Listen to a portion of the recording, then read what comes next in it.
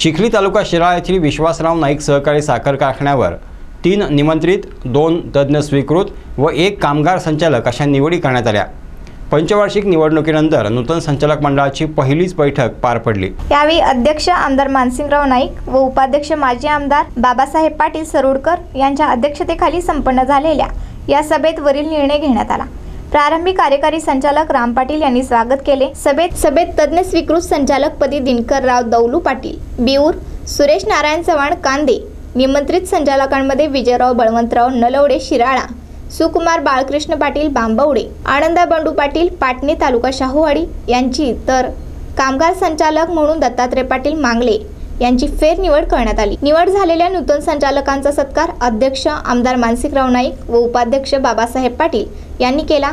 संचालक मंडळाने मकर संक्रांतीनिमित्त तिळगुळ वाटप केले.